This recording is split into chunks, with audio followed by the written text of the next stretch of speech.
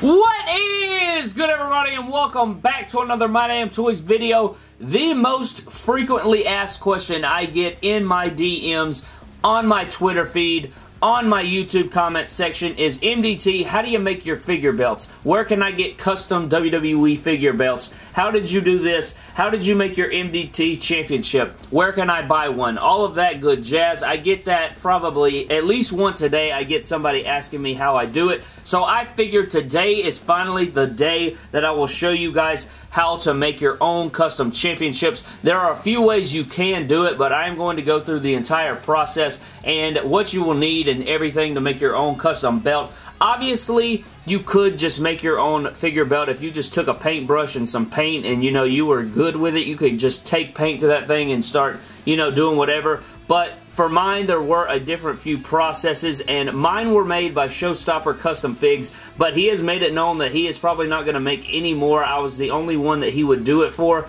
so shout out to him, huge shout out to him for helping me out with mine. However, I did make my own version of mine, which we will show. Not nearly as good as Showstopper Custom Figs, but it will help you guys out on what some options are for yourselves. And I want to give a shout out to Curb Stomp City Custom Decals because he also had a helping hand in making all of these belts. So now that we have covered that, guys, let's go ahead and get started. So getting into the materials you will need to make your own custom WWE figure belts, guys. Right here, we have all of them. We have some Milliput, which is just some sculpting clay that you will need, and I will get into that in just a few moments. But you also need a Dremel to sand down some stuff if you're trying to replace some logos or, you know, you don't like that little flap on the belt or you don't like that little sculpted piece that Mattel put on there. I don't want that eagle on there. You could sand it off. You have some sculpting tools right here to help manipulate the Milliput, you know, put it how you want, add some details, some little jewels, whatever you want to do. You have your paintbrush, obviously, to apply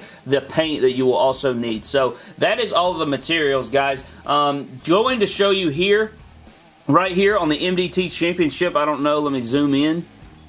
So you see here where the MDT is, that is sculpt. So you, what you would do is you would take your milliput right here and you would, um, well I guess the first thing you would do, you would need to take your Dremel and or sandpaper. If you just have sandpaper, it'd probably be more difficult, but if you have a Dremel right here, what you would do is you turn it on and you would, you know, take off the WWE logo that was once there. And then once he did that, he came in with the Milliput or the epoxy sculpt, whatever he was using, and he filled it in. Then he waited for that to dry, came back again with the Milliput, and then put the MDT in there. So let's say you wanted to put, you know, any other logo, your own logo, you would sculpt in your logo on top of the filled in spot and then wait for it to dry and then you would custom paint it. So that's how he did that. You see how it's like lifted up? That's because he sculpted that in there.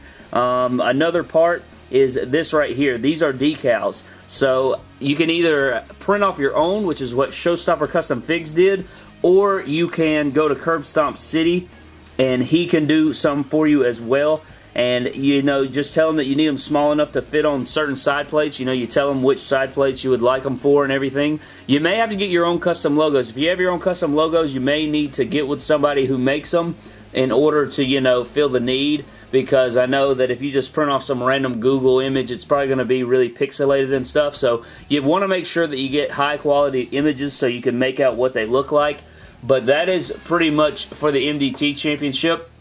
Right here on the Extreme Championship, it is a lot of decal work. Obviously, cut, uh, Showstopper, all he did was paint the U.S. title. Then I gave him a bunch of logos, and he came in and filled all of it in. So, you know, he is just an absolute beast. They're so clean. But here is ones that I made myself, and this is basically just uh, decals.